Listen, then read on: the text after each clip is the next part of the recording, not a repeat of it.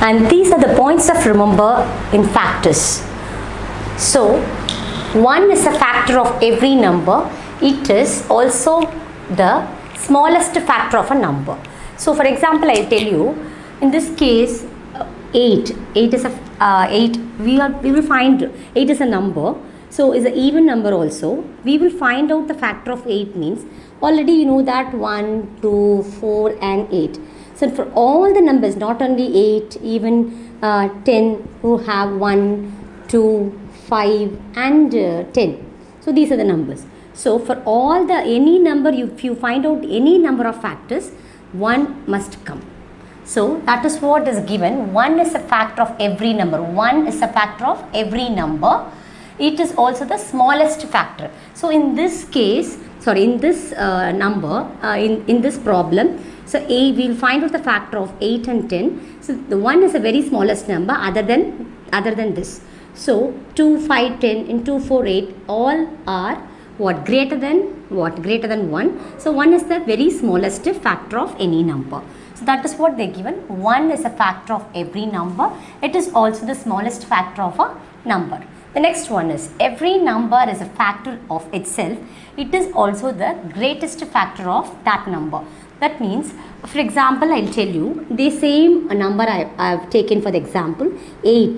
The example 8 is a, uh, will find out 8 is a number and 10 is a number. Both are even numbers. We will find out the factor of 8 and 10. So, these are the factors. This 1, 2, 4, 8. So, the same number has come. Okay, 8, the 1, 2, 5, 10. These are the factors. The 10 also, the same number also come for a factor. That is what the given and the points to remember. Every number is a factor of itself. Itself means nothing but the same number. 8, you, if you want to find out the factor of 8, 8 is a factor. The same number as a factor. If you want to find out the factor of 10, the 10 is a factor. If you want to find out the factor of 12, the 12 is a factor of 12. The same number will come as a factor. 16, the same number again. So, same number will come. The same number that is called as itself is given. So, it is a very greatest factor than the other numbers. That is what they given in this uh, what uh, points to remember. The next one is the factor of a number is less than or equal to the number. The factor of a number is less than or equal to the number. So, in this problem 8, I will just take only 8. So, the factor is 1, 2, 4 and 8. So, look at this sum 8 is the, we will find out the factor of 8. What are the factors? 1, 2, 4 and 8.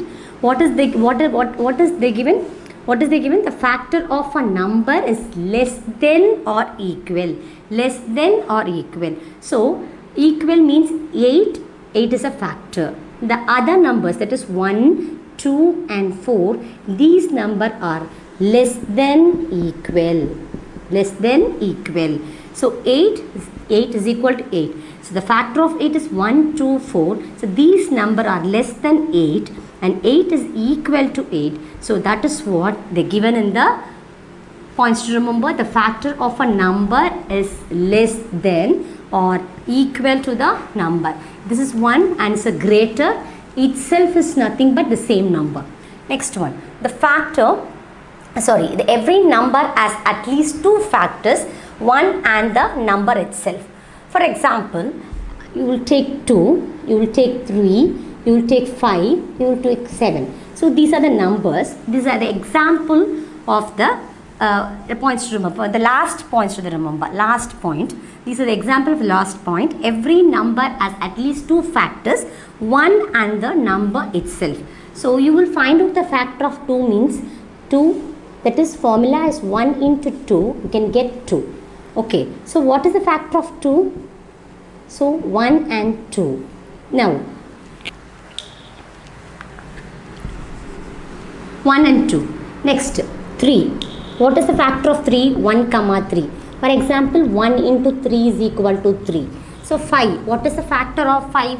1 into 5 is equal to 5. What is the uh, factor of 7? 1 comma 7. That is 1 into 7 is equal to 7. So, look at these numbers The factor of 2 is 1 comma 2. The factor of 3 is 1 comma 3. The factor of 5 is 1 comma 5. The factor of 7 is 1 comma 7. Only these two numbers will come for the factors of these numbers. This is called as a prime number. Otherwise, we can call it as a prime number. So that is what every number has at least two factors. Especially these particular numbers has only two factors. One and the same number that is called as itself. One is a factor as well as the two. The same number will come here as a factor. That is what they given itself and at least two factors. Count 1 and 2 only two factors. Okay. This one is a every one is a common factor of every number. That is what is given.